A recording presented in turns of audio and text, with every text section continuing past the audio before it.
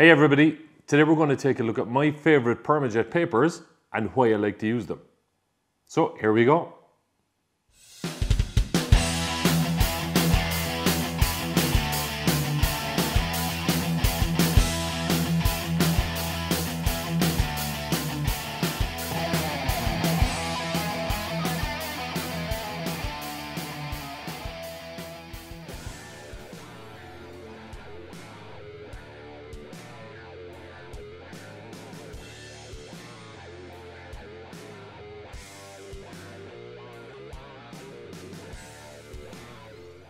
Okay, whenever I'm lecturing or giving workshops or anywhere where I'm talking to other photographers, one of the biggest questions I get is, what papers do I use? And the follow-on question is always, why do I use those papers? So I figured that a really good idea would be to make a short video and take you through my favorite papers and why I like them. So to start, um, the Permajet paper range falls into a few different categories, okay? So what we're going to go through is we'll go through one or two papers from each one. Um, and at another point, we might go, you know, through more in-depth information and in-depth detail about some of the papers. I might even do a specific video on each paper at some point, uh, time allowing. But for now, we'll just give a quick brief overview of the ones that I like. The ranges that we're going to look at are the digital photo range, the fine art range and there's fine art smooth and fine art textured and also the fiber-based papers, okay? So there are other categories of papers that you can get from Permajet as well, like they've got a double-sided range, they've got various other media, but we're gonna focus on those ones for today because that's the stuff that I tend to use for the vast majority of my printing. So let's start with something from the digital photo range.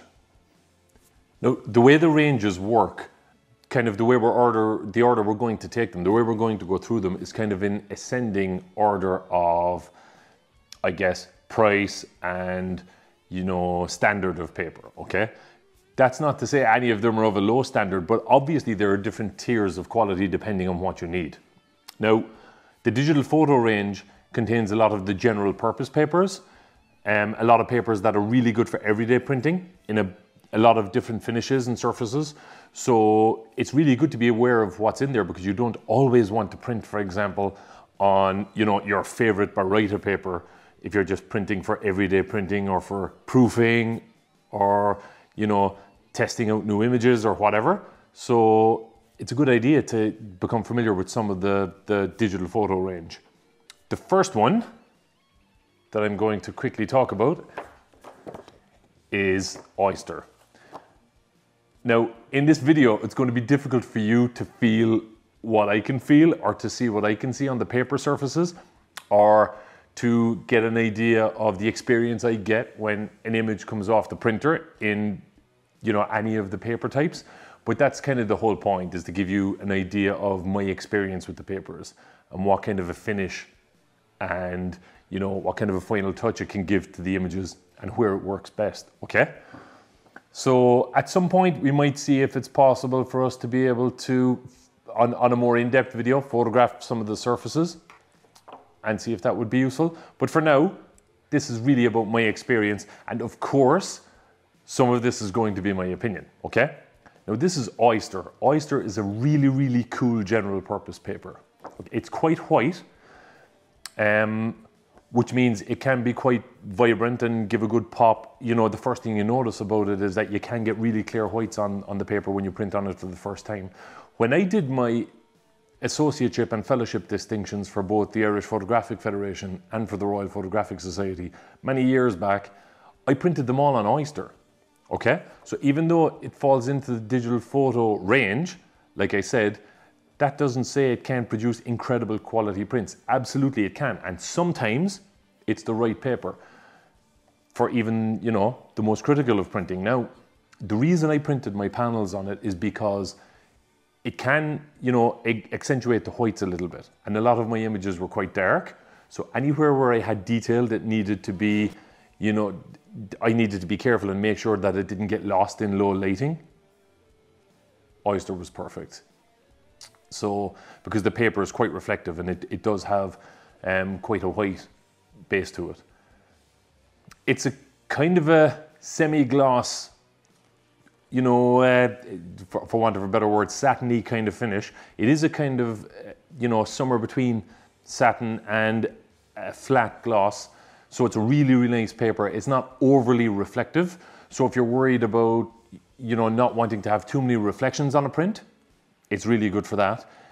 The other thing about it is if you're giving a print to somebody, okay, and they they're the kind of person that maybe you think would prefer a photographic finish as opposed to maybe a matte finish.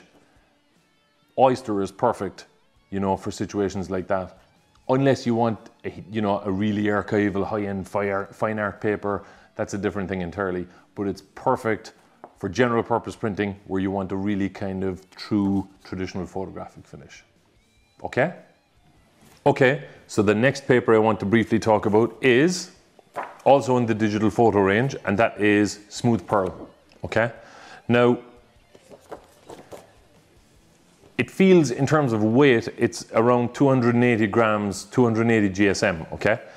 A little bit heavier than oyster, but it doesn't feel it. In fact, it feels a little, one of the first things I noticed about it was that it feels a little bit limper than oyster and a little more um, flexible, okay? Less rigid than oyster. That could be completely and utterly subjective. I'm not sure how um, you know that would stand up under scientific scrutiny, but this is how it feels to me. Okay.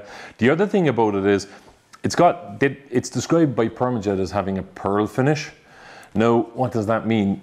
It's kind of a gloss, but it's not a hyper glassy Cibachrome kind of gloss. Okay. It's a lovely, smooth, sheen finish, reminiscent of, to me, you know, old lacquers that you'd see on musical instruments and stuff like that. It's it's more glossy than say a satin, but it's not a super glossy paper by any means. The other thing I really really like about this paper is that it's got a slightly warm base.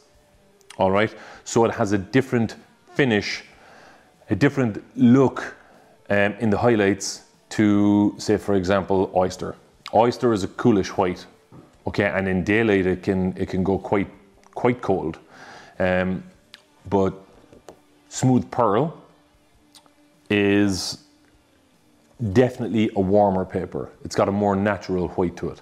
So as you move, one of the things I've noticed over the years is the way different papers and different surfaces and different white coatings on papers will behave in different light sources if you're taking your prints, say for example, in a room where they're being displayed and it's say tungsten, quite a yellow light, and then you're taking it to daylight and then maybe to fluorescent light. One of the things I have noticed about the very white papers is that not all the colors, you know, shift the same way. So when you move your print into different light environments and people view them under different types of lighting, the lighting color temperature changes, okay? The very white papers, okay, seem to change in the highlights under daylight more than they do in the rest of the color range, okay? I know that sounds a little counterintuitive, but there's a little, uh, there's a bit of a reason behind it in the way that the chemicals in the ultra whitened papers with the, some of them have optical brighteners, etc. The, you know, the way they phosphoresce under daylight. Similar to how on, you know, detergent advertising, you'd see the white shirt on the, the clothesline going blue in daylight. Not everything is going that blue in the scene, but the chemicals in the washing powder go slightly blue, okay, because they phosphoresce under, under daylight with, when UV light hits them.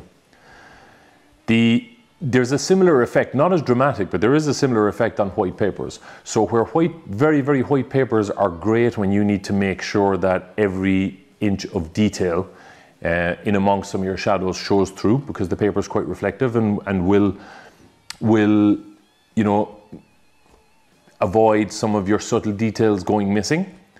In very bright daylight, if you've got very subtle highlight transitions, you can lose some of the highlight detail when they're viewed that way. And also your highlights can go shift to the blue a little more than your midtones and shadows can, okay? So for that reason, over the years, I've gravitated to a more natural, warmer uh, selection of papers. I still use Oyster, don't get me wrong. Whenever it's going to be viewed indoors and indoors only, I have no problem with printing something on something on Oyster. But when it comes to you know a print of a similar standard that I think might end up being viewed under daylight balanced light, I'll go for a smooth pearl. Okay, I think it's a gorgeous paper. It has a lovely, when it's printed as well, it has, it is very smooth, but it's got a lovely almost, you know, it's got the feel of like a PVC jacket or something like this, okay? It's got that lovely smooth kind of varnishy kind of sheen to it, which is which is really really gorgeous, and it's quite flat as well. You don't see a layer on top of the ink. It's it's it's really really beautiful.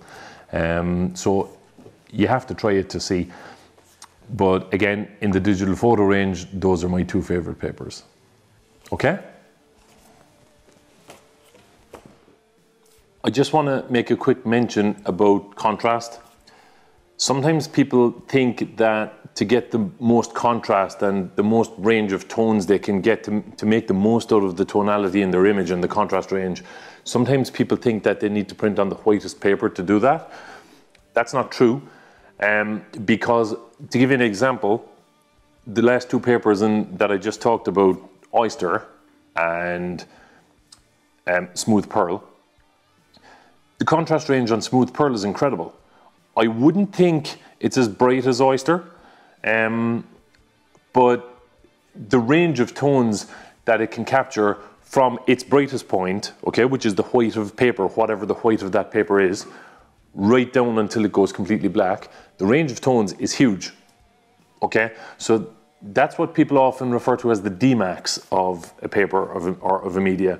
It's the you know, the maximum density. It comes from darkroom discussions and negative terminology. You know, when talking about negatives, the density of a negative, etc. Back in darkroom days, but the Dmax of that paper is really high. So the range of tones you can get from paper white down to pure black is huge. Okay, and that's more important for being able to capture contrast in your print than the weight of the paper on its own. So that's something to bear in mind. Cool. The next thing, the next range of papers we're going to talk about, and these are the fiber-based papers, okay? What I've got here is a box of gold silk. For anybody who's handled papers in this range, the first thing you will notice is that you're now getting into papers that are heavier than, for example, the oyster and smooth pearl. These are all over the 300 GSM type of weight. Okay, so well the ones I'm I'm looking at anyway. Fiber-based gold silk is this one here, for example, and that's 315 GSM. Now, at the moment, my absolute favorite fiber-based paper um, or what people often call the Baryta papers or Baryta style papers. Incidentally, that's what the fiber-based range in Permajet's paper categorization refers to. It refers to papers that would be either Baryta style or would be true Baryta papers. All those type of papers fall under the fiber-based range, okay? they're very, very similar. You know, they are a reproduction of the type of papers that would have, you know, we would have used in the darkroom for printing really high quality reproductions. Um, they've got a really good finish, reminiscent of the sailor silver sailor, reminiscent of the silver halide printing um, from darkroom days. So it really has the look and feel of a traditional photographic print. Now, Fiber-based gold silk is a very smooth version, okay? There are two other papers I really like in this range as well. Distinction, fiber-based Distinction, and fiber-based Royal. Okay, even though the gloss is different on them as well, and they're slightly different white bases, I, I find fiber-based gold silk, the name, you know, the, the clue is in the name, silk, it's a smoother finish, whereas Distinction can be slightly more resiny, you know, to my eye, um, which is similar to like a gypsum mineral, gypsum mineral type of type of resinous kind of um, fibrous finish to it. Now, you have to see it to see what I mean. It probably sounds like there's a texture. There's not. These are not textured papers, but you know, every paper has some kind of a feel and a look to it. And that's the slight variation between those. Now, I find gold silk to be a very natural looking paper. It's got a very natural, again, slightly warm white base to it, okay? And you can see that as we go through, I am drawn to the warmer papers these days. I find that they're the ones that keep the most consistent look and feel to most images between different light sources. There are reasons why, you know, depending on what you're printing, a certain image might not work on a warmer paper. We'll talk about that in a while. But for me, my fiber-based paper of choice for monochrome and color at the moment is gold silk. I absolutely love it. I'm experimenting and I've been printing recently with fiber-based pearl. It's a slightly more pearlescent type of, slightly more varnishy type finish um, than fiber-based gold silk. Similar in some ways to the look of, for example, the finish on smooth pearl, but it's a, just a far heavier, far higher quality paper um, and far more reminiscent of darkroom Baryta paper. Okay? Now, of the three fiber-based papers that I print most, have printed most um, on. The Gold Silk, Distinction and Royal. Gold Silk, I would have no hesitation printing both monochrome and color on. I would print almost any type of image on it. Again, because of the tactile nature of you know human beings and how we assess things by feeling them and seeing them up close, you know, things that would have had, you know, that we would traditionally have associated with traditional photographic processes, like, you know, traditional portraiture, um, traditional general contrast range scenes, things like that. Even though those images work on many different types of paper, to the general Joe Soap out there, if you're presenting them with a print, maybe a client or something, some of these people often associate those type of images with the photographic style paper. And even though they might work on many other papers, sometimes for that reason, the best choice is to put them on a fiber-based paper like this. Now, I have no hesitation printing monochrome and color images on um, fiber-based gold silk because the color balance, I just love the color tone on it. And even though there is no paper out there in the world that is 100% high fidelity to, you know, your image in your file, okay? Because the ink profile is correct for all the ink going on. It, it'll correct for the, the paper base to a degree, but there's different amounts of paper showing at the areas where there's heaviest ink on the paper and less ink on the paper, okay? So the paper will always have an impact, all right?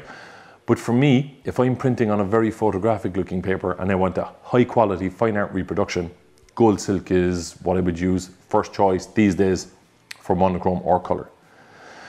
Distinction is, is slightly cooler, so I don't love it on monochrome images as much as I, for example, you know, I do like it on a lot of color images. It's got that very darkroom kind of look and feel to it as well. So if I'm doing, you know, printing headshots for somebody, for example, for an artist or a musician or whatever, and they want a photographic look to their to their headshots or an, art, an actor, even, it's a fantastic paper to put them on. Okay, I would lean towards color ones rather than monochrome images with with distinction. Now, we're beginning to get into territory of you can hear him describing how people are viewing the images as well. Okay, if you're giving headshots to uh, an actor in print, or if you're, you know, printing stuff for, you know, again, a musician or anybody who's going to have stuff, you know, that people are going to view at close range, you'll see that those are the types of images I'm mentioning a lot on this type of paper. Okay? For very good reason. Because the biggest factor that I use when I decide what paper I'm going to print an image on, okay, is always where is the image going to be viewed? Okay? Because in any of the categories we we're looking at, digital photo, the fiber-based papers, and the fine art ranges, in any of those categories, you will find a paper that will work for any image. Okay? So one of the habits people get into early is the fact that they think to themselves, okay, I want to get into printing. I'm printing very contrasty images. I think it needs to be on these traditional fiber-based papers with a very high Dmax so I can get really rich blacks, etc., etc. And, you know, the kind of either semi-gloss or gloss kind of finish on the paper will accentuate the contrast and that's what I need. Or they're saying these are very commercial style images, they're like travel posters, they're like brochure images, and I want to showcase them the best, so I'm going to put them on a super glossy paper. Okay? And then they hang them in a gallery where they have no control over the lighting, maybe, and as people are walking around the room looking at them, they're getting a lot of reflections. So that's an example of how I make, you know, my decision um, about what papers to print on, okay? It's more important to ask yourself where are the images going to be viewed than what type of image goes on what paper, okay? Because then you can still ask that question second, but the first question should always be where are they going to be viewed? So for close-up stuff, very intimate type uh, picture presentation, like I said, in people's portfolios, for their headshots as actors or, or whatever, or for your own portfolio. Semi gloss and satin and silk and gloss papers, they're fantastic for that because, you know, very few people don't like the look and feel of traditional photographic surfaces. Okay? So let's move on to the fine art range. Okay, so now we move into the fine art range. Just a quick word on what that means, okay? That causes a lot of confusion. A lot of people, you know, when they see that there are papers categorized as fine art papers and other papers categorized as photo papers, etc., etc., they get confused about what that really means. And people, you know, often think, oh, this is fine art because it looks painterly, so that means it must be printed on a fine art paper or it's not fine art. Fine art can be on anything, okay? Anything you do that, you know, for various creative reasons or whatever falls under the category of fine art, and it doesn't even have to be a certain type of image or certain types of, of photography. Fine art can cover anything depending on, you know, what it's for, what the message is in it, how creative it is, and creative doesn't mean necessarily, you know, Photoshop or anything. I mean creative in the sense of, you know, you as a creative person are creating images purely for self-expression. Okay, it can all be fine art. All right, um, that's why you see under the banner of fine art, you will see all types of images in exhibitions and galleries in the academic fine art world, etc. Okay, so people often get this kind of confusion that fine art means it must be kind of, uh, you know, have a certain look and be on certain types of paper. That's that's not true. The reason these papers are categorized as fine art papers is because they're reminiscent of the materials used by painters and artists in the past. Okay, so take this one for example. This is photo art silk. All right, this is a heavyish paper as well. It's about two 290 GSM, I think. To my eye, it's quite a natural white paper as well, but all of these papers, now this is one of the smooth fine art papers, okay? So we're gonna talk about the smooth ones first and then we'll briefly touch on one or two textured. They're kind of reminiscent of the cartridge paper that you would have seen in sketch pads if you bought sketch pads or bought sheets of sketching paper, um, you know, for use with pencils or maybe even charcoal over the years, and you can still get them. Go into a stationery shop and look at normal sketch pads, not watercolor pads now, just normal sketch pads. And you'll see the cartridge paper in those um, has a certain look and feel to it. A lot of these papers, when you, you know, the fine art papers, when you pick them up and look at them, they're reminiscent of that. Except obviously, they've got very specialized coatings for receiving inkjet ink and to give a specific look. This one, Photo Art Silk, has, you know, quite a smooth cartridge paper look to it, okay? This is difficult to show, so we would never see this in video, but, but you know, this is kind of the experience of using it. It's a very smooth look, um, and it looks, for all the world, like really high quality cartridge paper maybe. But then, when you print on it, it takes on a kind of a slightly they say it's got a, Permajet describes it as having a silk, satiny silk kind of layer. Actually, what are the words they actually use? Let me double check here. So, Permajet says, with a unique ink receiving layer that exhibits a striking silk finish, okay? I don't disagree with that, but to me, it's even got a slightly leathery kind of look to it. You'll see little undulations in, in the flat areas on the image. So I find this paper to be really, really, really good for printing images that have a high degree of midtone in them, okay? Lots of flat midtone color. If you've got very dark areas, those little undulations and the silky look to the, to the finish can maybe break up that area a little bit and be a little distracting. But in, in images that have lots of mid-tone blocks of color, then it's absolutely stunning. It's a gorgeous, gorgeous uh, paper. And to me, like I said, it's quite heavyweight. It's got quite a natural white base as well. So color, reproduction, detail, everything incredible. Okay? So that's that. Okay, the next paper I want to briefly talk about is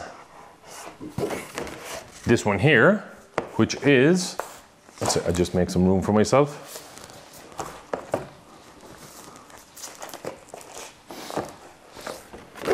This is Portrait Rag 285, okay? It's a slightly lighter version of a paper in the past called Portrait 300. Um, so some, some of you who had printed in the past might be familiar with that, but this is 285 GSM. So it's slightly lighter, you know, less expensive to ship and easily managed as well. But it's a gorgeous paper. It's a kind of a, it's a natural white to my eye. I think they describe it as a medium white paper. It's got a smooth surface. I mean, you can see if, when you hold it up against the light at a at a very high angle, you can see the the paper texture in it. It's a 100% cotton rag based paper. So it's a really, really good choice for making fine art reproductions that you want to be archival. All of these papers that I've talked about today will take pigment and dye-based ink. But again, you're printing giclée prints with pigment ink on archival paper. This kind of paper is, is a fantastic choice. It's actually one of my two all-time favorite papers, okay? This is a smooth finish paper. So if you want high quality archival fine art prints on a smooth surface, this is my go-to paper for that type of thing.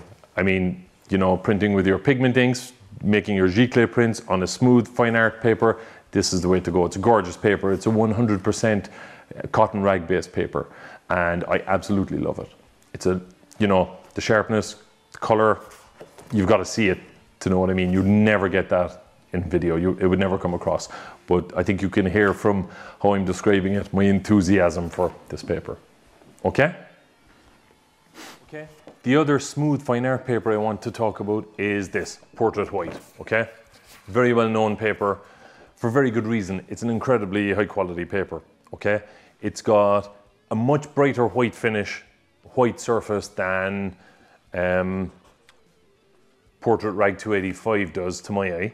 Um, and I think, look, to be fair, I mean, it's, it's quite obviously brighter. If you were in person and put two of them side by side next to each other, you would see that the the portrait rag is obviously slightly warmer, okay? Because this is a, a much whiter paper again, it doesn't have as warm a white point.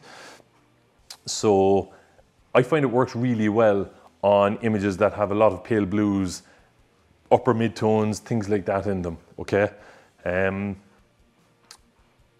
you know, areas where you don't want to, if you've got very subtle high key tones and they're all slightly cool. If you use a warmer paper, some people find that the warmth of the paper can diminish the, the coolness of their highlights. It's never been a huge problem for me to be fair, but I would still stick to this paper if I'm printing anything that has a lot of light blues. So very pale seascapes and some of my images previously from places like Santorini um, and other images from Greece where you'd have a lot of pale whites and slight blue tones, middle of the day, sea, stuff like that. I have printed them on portrait white and it can look incredible.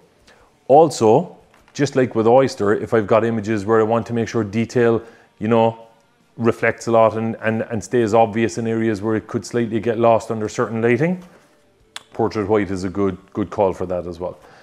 Because the extra little bit of white can lift some of your, your highlight details in images that are generally darker as well. Okay? So that's portrait white. Okay.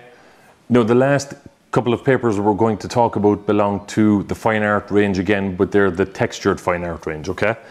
Um, I'm going to stick to two of them um, because they're the ones that I probably have the most experience with. I've printed on quite a lot of them and I love them, and they're, a lot of them are good for different things. But these two give a good um, example of two different types of textured fine art paper, okay? You'll see that I'm drawn to the papers that have a natural white base, whether they're textured, whether they're smooth, whether they've got a matte or gloss or silk finish or whatever. Um, you'll find that I do tend to prefer the natural white base on the papers these days, and this is no exception. This is gallery etching, okay? It's 310 GSM, so quite a heavy, sturdy paper. If you're putting images into mounts, but you're not putting a backboard on them, this is a good sturdy paper. Um, portrait portrait uh, rag is is you know similar in that regard, but it wouldn't be as stiff as gallery etching. So this is a really good example if you're taking a lot of images around to show to maybe institutions, clubs, universities, whatever, or you're taking a lot of things around to, to, to show people to potentially sell and you don't want the extra weight of a backboard, a good stiff fine art paper like this is your best friend on the back of a mount, okay? The other thing about it is this is quite a heavily textured paper. If you've ever seen, you know, I mentioned earlier sketch pads and cartridge paper. If you've ever seen the more textured sketch pads, not a canvasy texture no, but an undulating cartridge paper type surface that people would often use for sketching with charcoals, for example.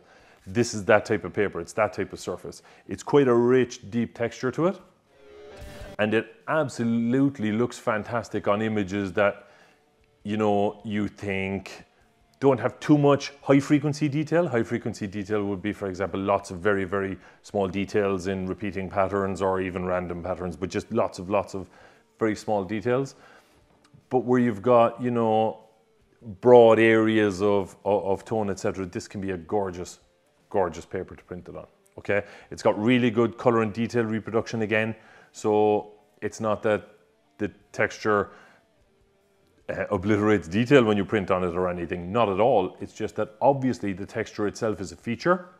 So it can obviously distract in images where you've got a very, very high texture, high detail type of type of image going on. So um, I would use it for you know things that would look a little bit more uh, broad brushstroke, I guess is the term I'm looking for. Okay, I've printed some of my sleep, uh, Sleeping Beauty and Giselle images on this, and they've worked really well. They've worked really, really well.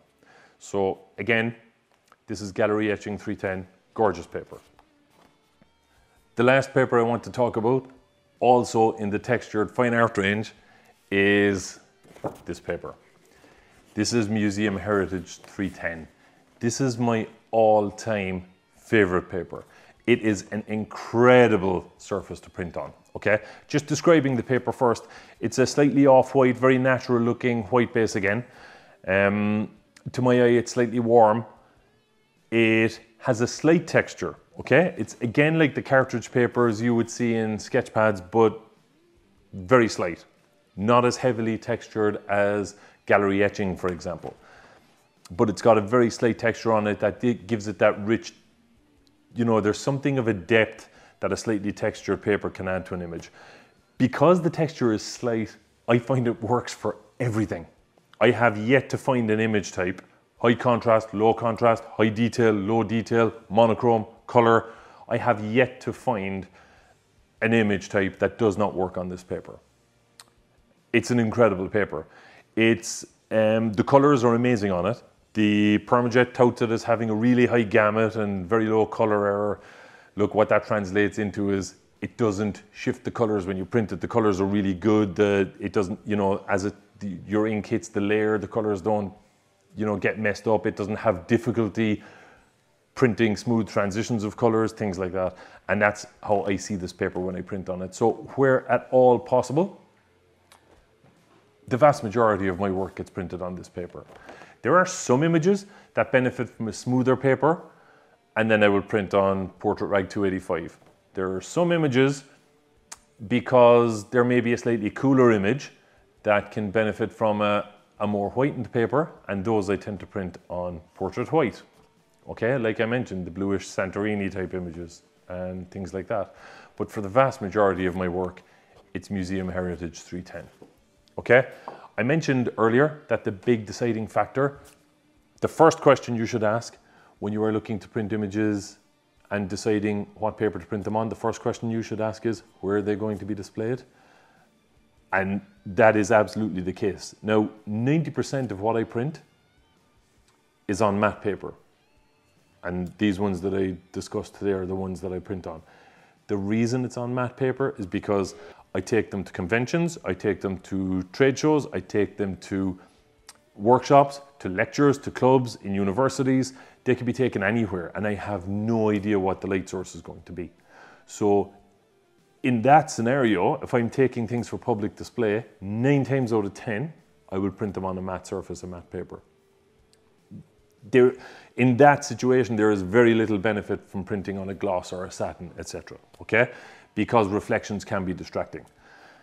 The other types of printing that I then do would be for family, friends, for my own um, portfolio books, or for clients. And a lot of the time in those situations, because people get to see them up close, reflections are less of a distraction, and also a lot of people appreciate the look and feel of traditional photographic paper. In those situations, I would nine times out of 10 print on one of the fiber-based Baryta papers that I discussed. Can you print on those papers for exhibition? Absolutely, absolutely. And if there are situations where people can get up close to them, even better. Okay, so I'm not saying one should be done in this situation and this is 100% correct and that's 100% wrong. Not at all. There are obviously situations where you can flip back and forward between matte and gloss, but if, for me, if you're going somewhere and you have no idea what the reflections are going to be like, what the lighting is going to be like, I find the matte papers are a safer bet. And you can find a matte paper that works for any image, okay? Um, and then for up close, I really love the look and feel of the textured papers. If you're print, or of the, sorry, the, the silk and, and glossy fiber-based papers, okay? If you're printing commercial looking stuff and you want that poster type effect, a really, really good option for that is something like, um, you know, fiber-based royal gloss, okay? It's a really, really glossy paper and it has a really good kind of postery look to it so it is really good for commercial style images while at the same time having a really good photographic feel to it. So in terms of in the digital photo range then, Smooth Pearl, for example, is a really good postery type picture reminiscent of, you know, commercial posters and things like that. So if that suits the work you're doing in a fashion book, for example, perfect. I find the fiber-based papers are probably a little bit more hard wearing and more enduring than, say, uh, Smooth Pearl, but it's marginal. Okay? Now, I hope that was useful. Again, like and subscribe down below so you can see more of this type of content. And yeah, if you like this video, we might go into more detail on some individual papers in a series of videos going forward. So let me know in the comments, okay? So thank you and see you next time.